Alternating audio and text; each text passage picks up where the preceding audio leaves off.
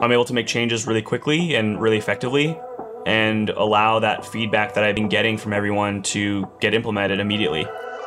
My name is Ritesh Gupta, and I'm the founder and CEO of Useful School. Useful School is the world's first online pay what you can design school for people of color. Useful School's main audience is designers, so it's really important to create something that had really good quality and was also really nuanced in every single interaction.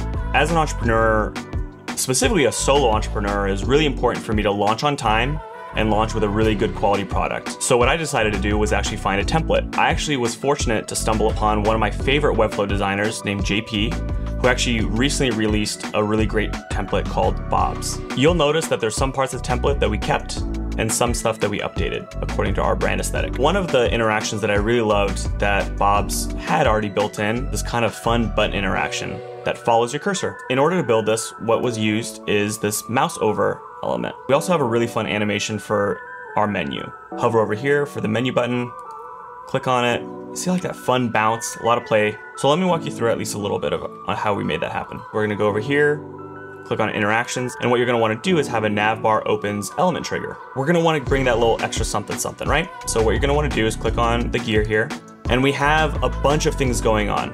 So let me break this down. We want nav links to actually move, we also want some nav links to scale and we also want to change the opacity.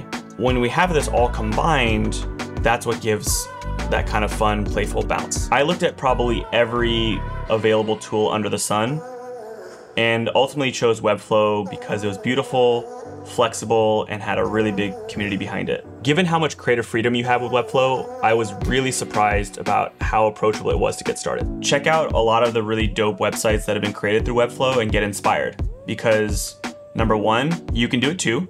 And number two, Webflow has a lot of clonable templates and tools that you can use to get started. So that way you're not starting just from scratch. Without Webflow, I wouldn't have been able to launch on time. I wouldn't have been able to create something as beautiful as I did.